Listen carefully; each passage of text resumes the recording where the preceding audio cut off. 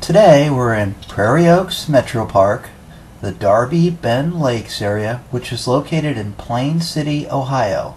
And the first thing I must say about this park is if you like water and lakes, this is the place for you.